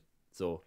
Und wenn sie jetzt nicht gerade eine der hohen Figuren sind, werden sie auch gerne mal, ja, äh, verbal auch hops genommen. Wurde er ja auch. also er wurde, manch, er wurde einfach nicht für voll genommen teilweise. Ja, genau, dann, ja, das haben wir jetzt gehört, machen wir was komplett anderes. Ja, in komm, Sinne. halt die Klappe. Ja. geh, wieder, geh wieder mit deinem Gravilift irgendwo anders spielen. Kleiner Und da war Prophet. auch mal der, die Überlegung, ob bei den Mordfantasien es wäre Blasphemie, wenn wir jetzt einen an den Propheten, auch wenn er so niedrig ist, äh, äh, umbringen. Und äh, damit würden wir die Reise gefährden oder die Propheten haben ja auch eine höhere Stellung, damit würden wir die beleidigen. So in dem Sinne. Aber dann haben sie sich gedacht, aber auf der anderen Seite, es wäre halt praktisch, wenn er die Klappe hält. es wäre einfach, wär einfach logisch und besser. ja. ähm, genau, und dann ähm, haben wir ja die Sicht, dann haben die sich quasi entschieden, ähm, ich würde es jetzt einfach den finalen Showdown nennen vom Buch. Ähm, und den hast du ja jetzt, glaube ich, auch erst jüngst denn gelesen, ne? Die letzten genau, 100 Seiten ganz müsste doch eigentlich ja. ganz frisch. Denn äh, überlasse ich jetzt dir einfach das Sprechen. Verdammt. Also, Verdammte Axt. Holzi hat ja, ich habe die Zusammenfassung jetzt hier ausführlicher geschrieben, deswegen alles gut. Äh, Holzi hat ja die Karte studiert, die wissen jetzt, wo es hingeht. Ähm, sie wissen noch nicht, was sie erwarten, aber auf jeden Fall irgendwas von der Allianz, was sie zerstören möchten. Wo sie denken, das muss was von der Versorgung sein. Genau, und da sind ja auch alle jetzt dabei. Also die ODSTs, die noch übrig geblieben sind, äh, sind dabei, inklusive dem Maulwurf. Heißt das Maulwurf eigentlich? Ja, dem, dem Maulwurf. Also Wir nennen der, ihn einfach Maulwurf. Dem Verräter, wo sie wissen, das ist jetzt der Verräter. Ähm, der ist auch dabei. Johnson ist auch dabei. Alles, also alle zwölf Spartans wo wir auch nie wissen, wer jetzt wirklich in Team Grün und Gold ist. Ne? Also der jeweils der Anführer, einer heißt Kurt, keine Ahnung. Die anderen Sparten sind einfach egal. Ähm, ja, ich muss auch sagen, das, das haben wir noch gar nicht angesprochen, das habe ich dir aber auch mal so gesagt. Dieses Buch hat so unverschämt viele Namen. Da bin ich irgendwann, äh, steige ich dann einfach aus. Die wichtigsten behalte ich und den Rest, den vergesse ich dann immer ganz gerne mal. Ja, das haben wir, ich habe äh, ab und zu mal wieder einen Buchtalk gehört, das haben wir so häufig, dass da einfach Namen gedroppt werden, um einfach mehr Charaktere zu haben, weil da ist ja auch viel unterwegs, ne? Äh, ja, manchmal auch so umständlich. Vielleicht, aber manchmal erfährt man auch Namen und denkt, ah, den kann ich wieder vergessen. Oder hoffentlich wird er nicht wichtig. Jedenfalls sind wir jetzt unterwegs. Ähm, die haben jetzt unterschiedliche Aufgaben. Die Spartans sind so verteilt auf jedem Schiff, dass die die Odysseus begleiten und so ein bisschen, äh, nicht die Odysseus, die Prowler mit dem Maulwurf äh, beobachten und schauen, was machen die. Nicht, dass sie in die Mission eingreifen und die sabotieren. Und es war dann so, wir hatten vor allen Dingen die Perspektive von Johnson und dem Kritiker der Spartans, der aber dann der Sympathisant wurde. Ne? Ähm, genau. Die halt dann den, den obersten Anführer, den Newton, nennen wir ihn ja einfach, dann hatten, wo ich dann herausstellte, ja, der möchte die Mission sabotieren und nicht nur er ist sozusagen auf Seiten der Rebellen, sondern die ganzen Leute auf dem Prowler. Also die ganze Mannschaft sind Rebellen, nicht nur er. Und töten einmal den Sympathisanten, also den äh, der halt Johnson und die Spartans unterstützt, tötet den. Genau, ich, sag, ich sage mal, der, der, der, der, der UDST-Captain. Ja, ihn. genau. Ich habe den Namen auch nicht mehr im Kopf. Auch wieder ein komischer Name. Corvoth. Der, Egal. Der ist jedenfalls tot. Fand ich in dem Sinne schön, dass ein Charakter aufgebaut wurde, wo man den halt auch fallen lassen kann, weil Johnson kann es nicht fallen lassen. Ne? Oder da gibt es halt dann ein bisschen eine Fallhöhe stimmt, in stimmt. Charakteren. Ja, ne? ja. Johnson hat natürlich überlebt, hat sich rausgekämpft, ähm, war dann mit anderen ODSTs dann im Weltraum, weil die wurden aus dem Hangar geblasen äh, und hat dann sein Ortungsgerät angemacht. Eigentlich ein großer Fehler, weil die Allianz soll ja nicht wissen, dass da jemand kommt. Aber Johnson hat gedacht, wenn jetzt, jetzt Ordnung, sein Ortungsgerät angemacht wird, wird der Prowler entdeckt und die Rebellen werden dann angegriffen.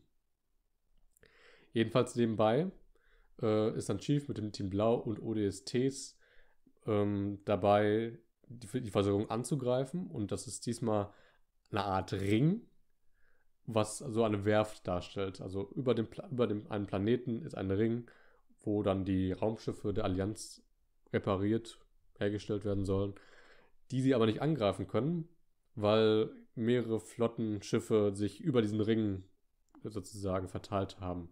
Und dann kamen die auf die Idee, da müssen wir halt auf dem Planeten, wo es Gravitationslifte gibt, ähm, wo halt auch Ressourcen transportiert werden, um halt den Lift zu benutzen und so auf den Ring zu kommen und dann mindestens zehn Stationen auf den Ring zu äh, zerstören, damit das in die Atmosphäre knallt. Genau, genau, den Ring quasi zu destabilisieren. Ne? Dass der dann quasi in sich selbst zusammenfällt, weil er zu wenig Struktur hat durch die zehn zerstörten ja. Teilstationen. Da, da gab es dann zum Beispiel auch, wo die dann halt auf diesem Planeten waren. Da sind, waren wieder normale Allianzstädte, ne? wie wir es auch in Kilo 5 so ein bisschen kennen. Ne? Die Leute fahren da rum. Also das sind eher so Zivilisten. Und da fand ich auch interessant, da hatte der Master Chief auch so Gewissensbisse oder so eine innere Diskussion. Jetzt bringen wir Zivilisten um, obwohl die ja gar nichts dafür können. Ist es jetzt schlecht, dass wir die umbringen?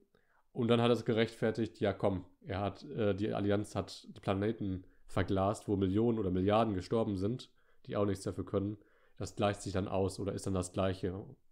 Oder die Zivilisten. Ausgleichende Gerechtigkeit, so nach dem Motto. Genau, ne? oder die Zivilisten stellen ja, ja auch äh, Kriegswaffen her. Dann, dann haben sie sozusagen es nicht anders gewollt. Auch wenn die Guans, wissen wir ja, versklavt sind, ne? Versklavt wurden.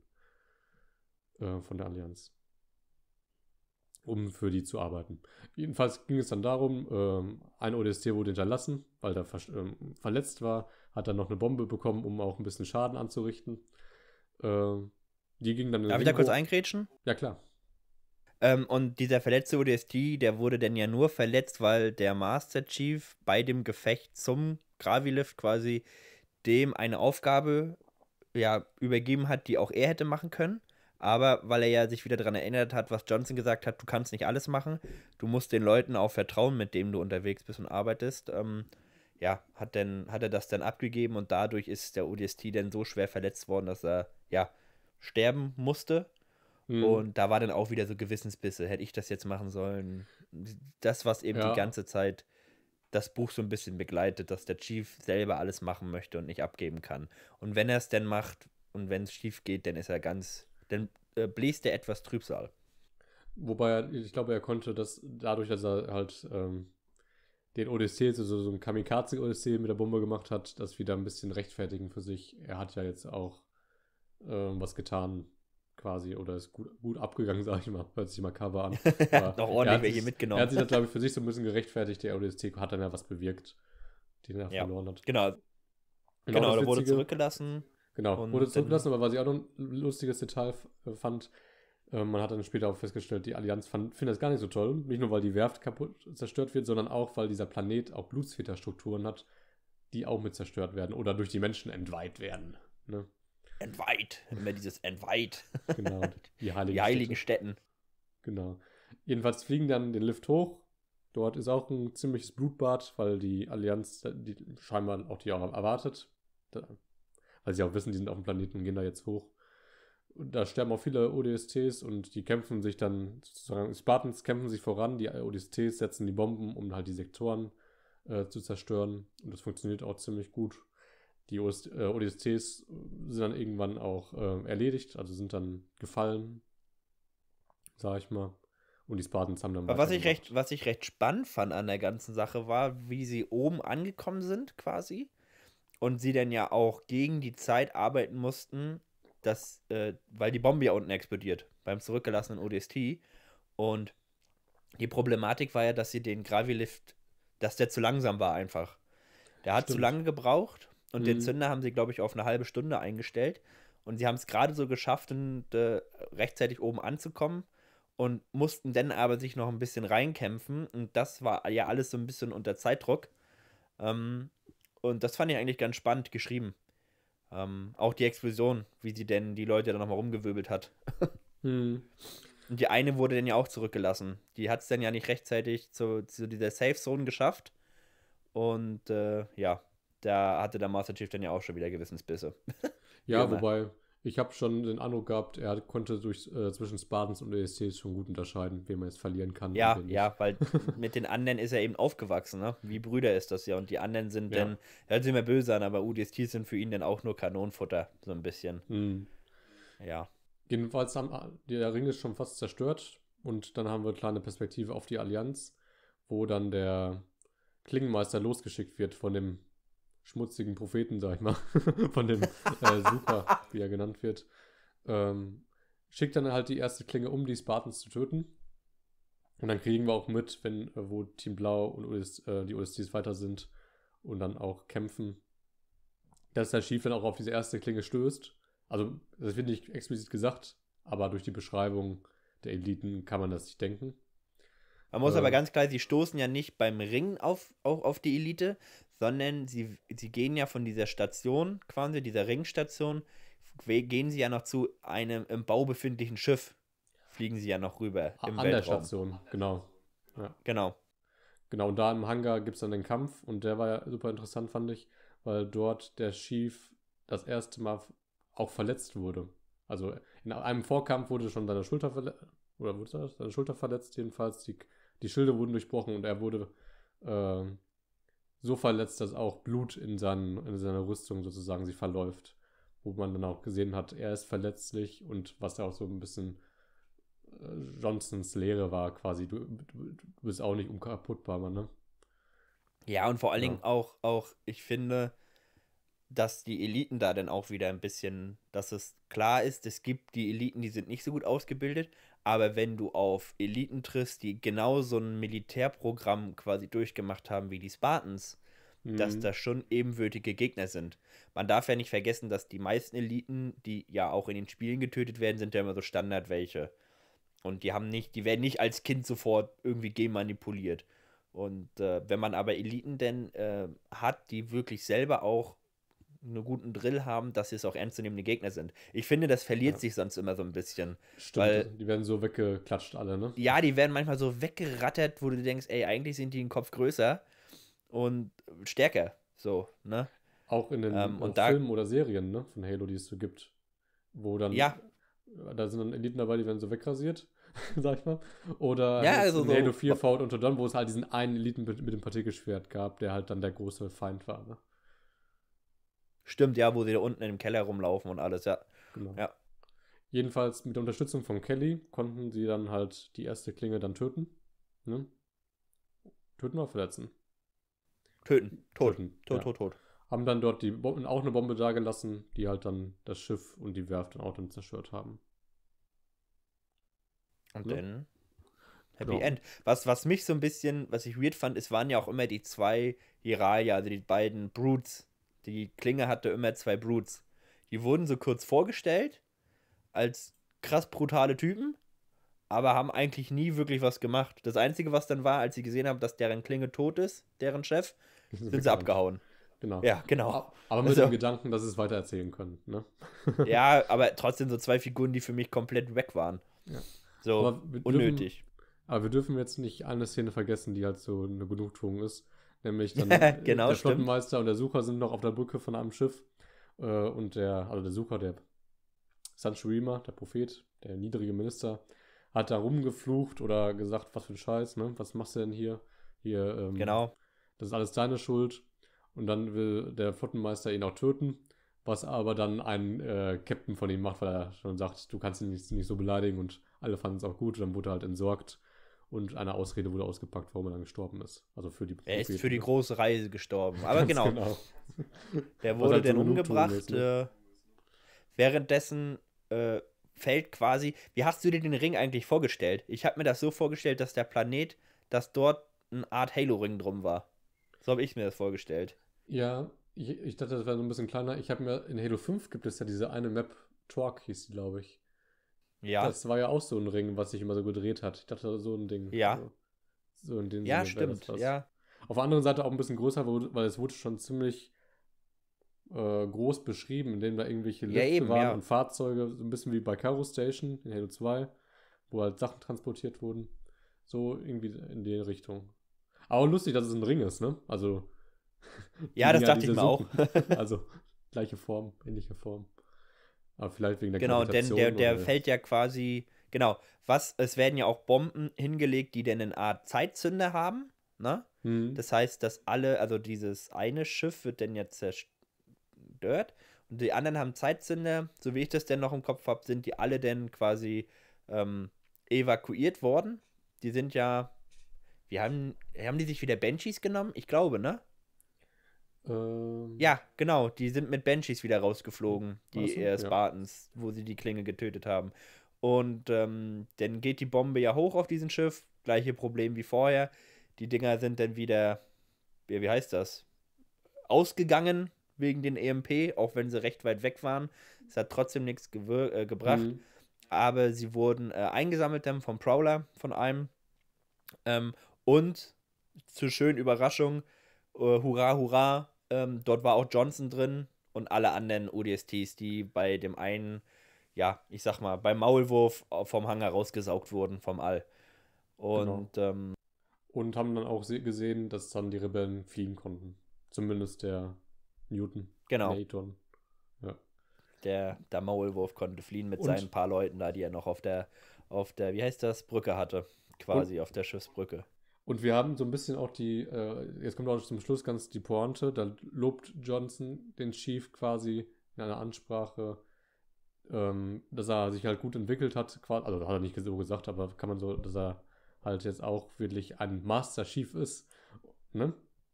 Also, dass Er kriegt ja die, genau, er kriegt, das haben wir ganz vergessen, er Genau. kriegt ja die Beförderung vor der vierten Mission. Genau, Das- nämlich da war halt die Geburtsstunde von Master Chief Better Officer 117, ne? Also da hat er den Rang Genau. des Master Chief bekommen, um mehr Glaubwürdigkeit zu haben, auch Befehle Genau, ähm, zu geben gegenüber den genau, genau, dass er ODSTs. Befehle und, da- dass die ODSTs ihm auch folgen. Genau, Ja. und ganz zum Schluss hat dann der Master Chief gesagt, äh, ich weiß nicht, du, wurde nicht gesagt, du bist würdig, aber wurde explizit nochmal Master Chief. Sieht so aus, als hätten sie den Dreh raus, äh, Master Chief. Ne?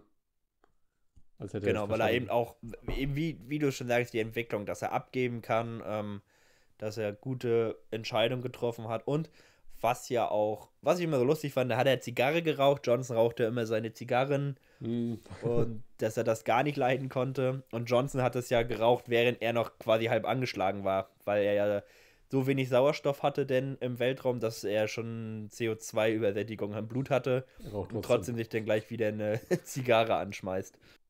Ja. Ähm, und ansonsten, ähm, genau, was man denn noch mitkriegt, die Fernzünder gehen dann an, alles stehen auf der Brücke und gucken dann eben zu, wie das große Feuerwerk losgeht, ne?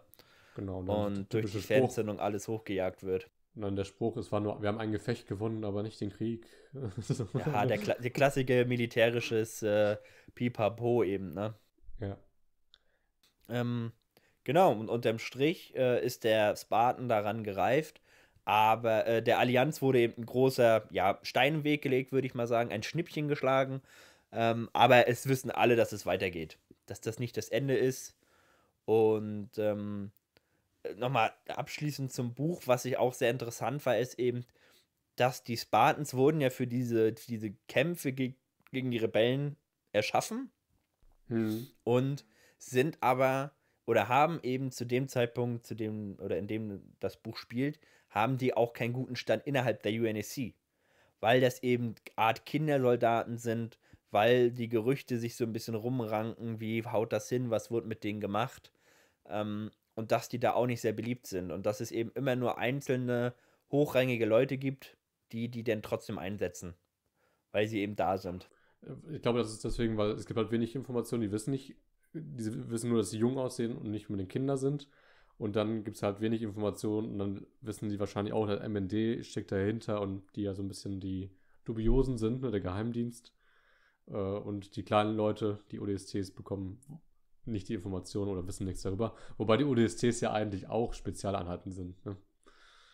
Ja, aber du, du, du, das, das fand ich auch krass, dass so einige so mit 50 beschrieben werden, so. Ja, so veteranenmäßig, ne? Ja, so richtig, so richtigen kauzigen Alten. Also ja, aber ich fand es auch gut. Hä? Nee, mach du. Ich fand es eben auch interessant, dass man zu Johnson noch mal ein bisschen, also der ist ja Das irgendwie schon sagen, immer genau. Fan, Fan-Favorite, aber so wirklich eine große Informationsfluss in Spielen gibt es nicht über ihn.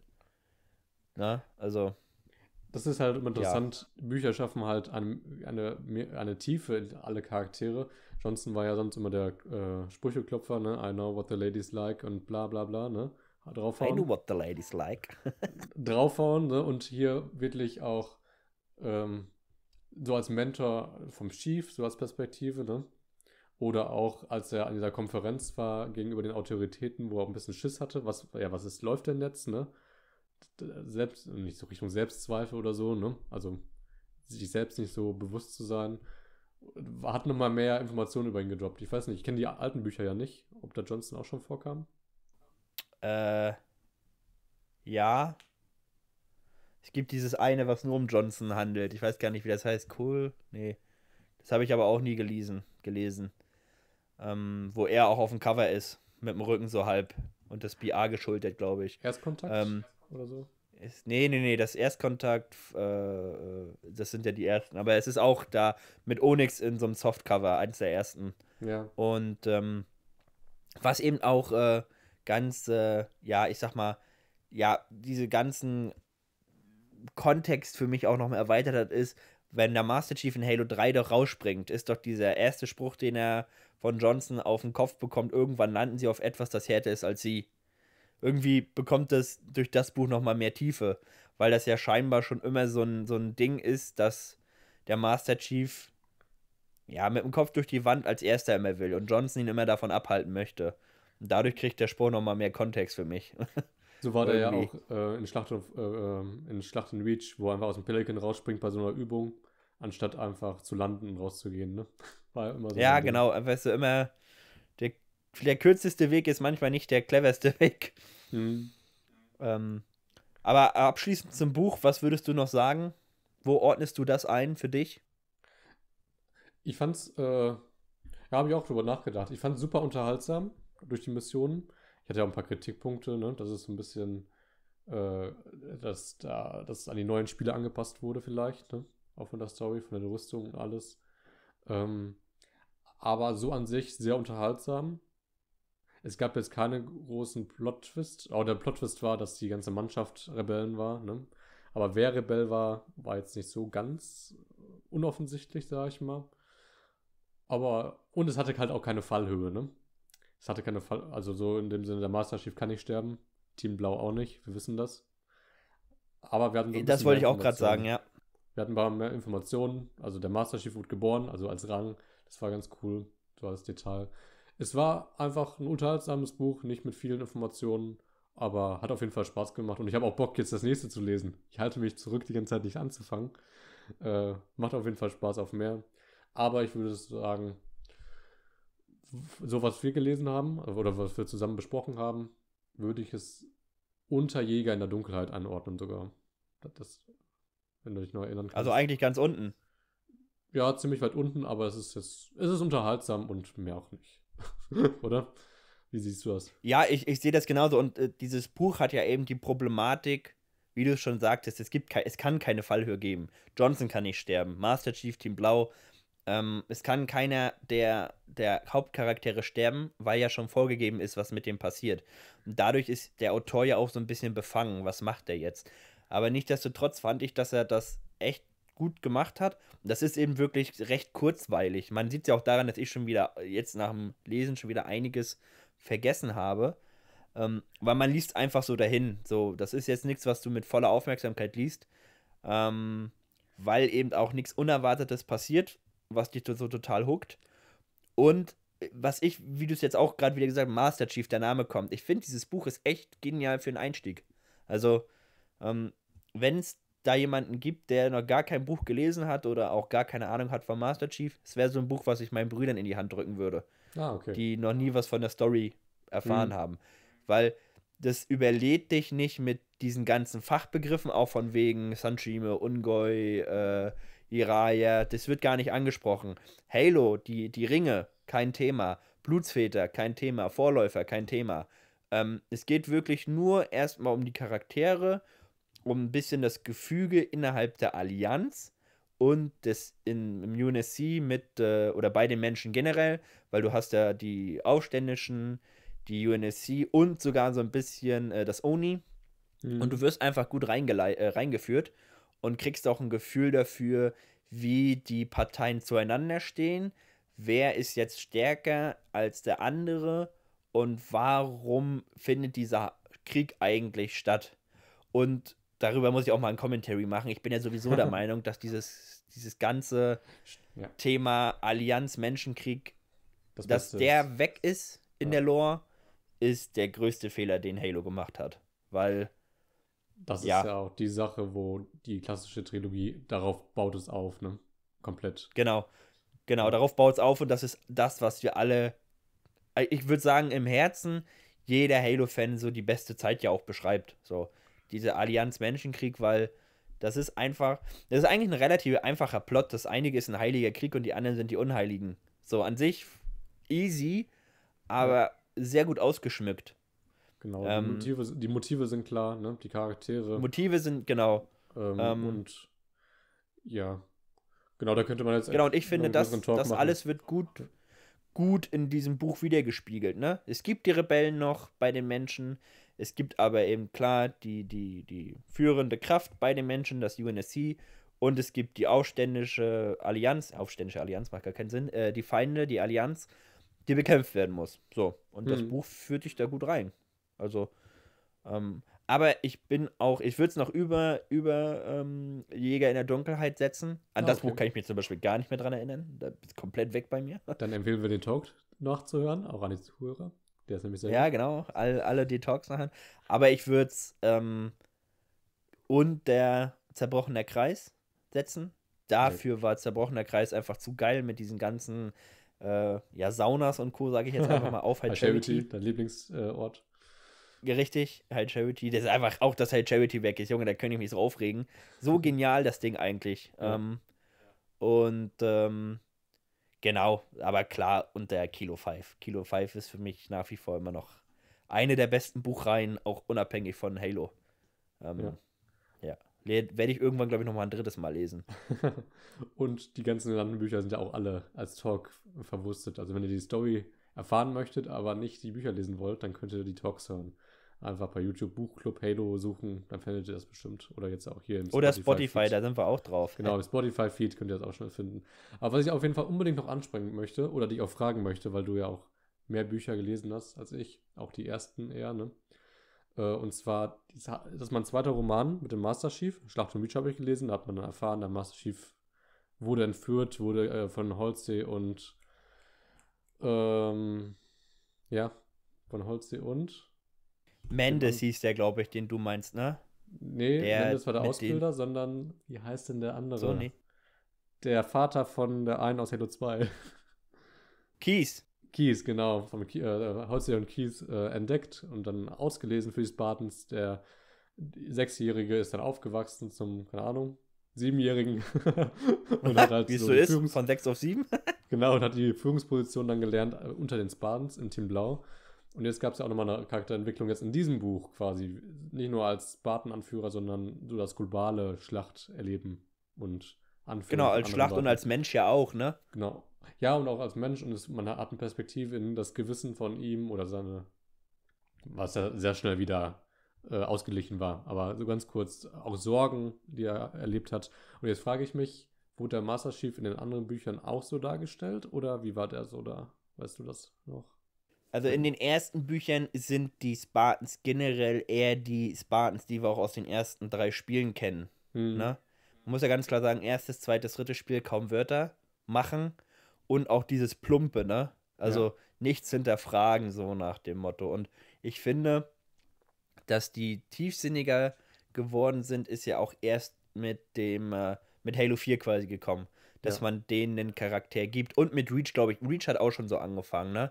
Ähm, und äh, das war auch bei den Büchern dann so. Ich habe ja ah, auch okay. nicht mehr die besten Erinnerungen an die, aber das war vorher nie so, so. Also jetzt ist ja schon krass, wie viel Selbstzweifel teilweise dabei sind. Ist er für die Position der Richtige, ne?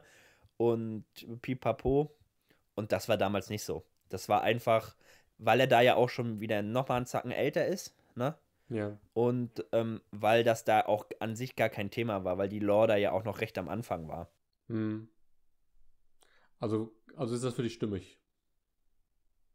Ist schon stimmig, ja, deswegen sage ich ja, also, das, das, man muss es ja auch immer in den Kontext sehen, wann ist das Buch erschienen. Guck mal, die ersten Bücher sind 2006 erschienen, das ist fast 20 Jahre her.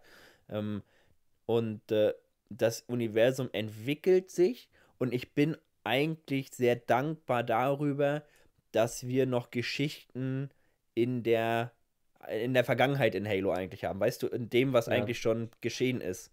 Dass es jetzt nicht nur um Blutsväter geht, nicht nur um Cortana und die KI und Co., sondern dass wir auch nochmal einen Step back machen und schauen, was war da jetzt eigentlich los. Weil ich finde es einfach viel interessanter als das, was wir gerade haben.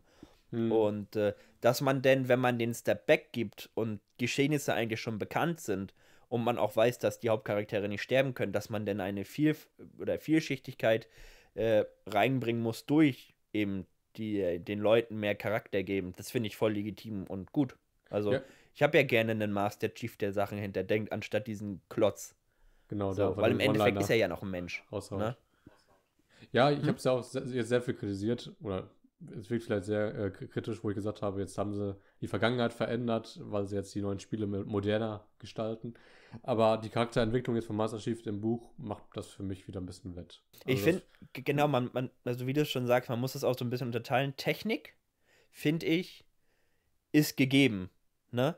Du kannst den Menschen jetzt auf einmal nicht Laserwaffen geben, obwohl sie nur den Spartan-Laser haben. Hm. Aber äh, eine Charakterentwicklung nochmal zu machen, wenn es in den Rahmen passiert, der richtig ist, finde ich voll okay. Und diese Charakterentwicklung passiert ja eigentlich vielen Monologen mit sich selber und mit äh, einzelnen, ich sag mal, einzelnen Vertrauten, jetzt wie Johnson, der ein Vertrauter wird, der so eine Art Vaterfigur einnimmt. Aber es ist ja nicht so, dass er zu seinem Team irgendwie auf einmal der Poet wird. Ja, ne? das stimmt, ja. Sondern es ist immer nur, es ist so, und dass Johnson irgendwie eine bestimmte Stellung bei ihm hat, das war ja auch schon in den Spielen klar. Ja. So. Und ja, das finde ich eigentlich vollkommen okay. Und mhm. ich habe auch Lust auf mehr. Also, ich werde das nächste Buch auch, glaube ich, jetzt denn lesen demnächst. Ich werde kein Versprechen machen, weil dann dauert es wieder ein Jahr. Das dachte ich mir. Aber ich habe auf jeden Fall, also das Buch hat, hat auf jeden Fall Bock auf mehr gemacht. Und das nächste Buch, Oblivion, äh, ist ja auch quasi anschließend an der Story jetzt, also von der, so vom Zeitstrahl her. Und ich habe recherchiert, das dritte Buch, irgendwie irgendwas mit Reach. Fall of Reach. Ja, nicht Fall of Reach, das ist ja der, sondern irgendwas, äh, wo die nochmal auf Reach zurückkommen. Das spielt dann. Shadows äh, of Reach. Shadows of Reach, genau. Das Ja. spielt dann Richtung nach Halo 5, glaube ich. Ne? Also ist so ein Ah. bisschen abseits von den drei. Und das ist halt total cool, weil diese drei Bücher, also das ähm, Shadows of Reach kam, glaube ich, jetzt letzten September raus, wenn ich es richtig in Erinnerung habe. Ja. Und das wir haben jetzt mal neue Bücher wieder auf Deutsch, ne? Das ist ja. ja, es ist cool. wirklich, ja, ja. Ja.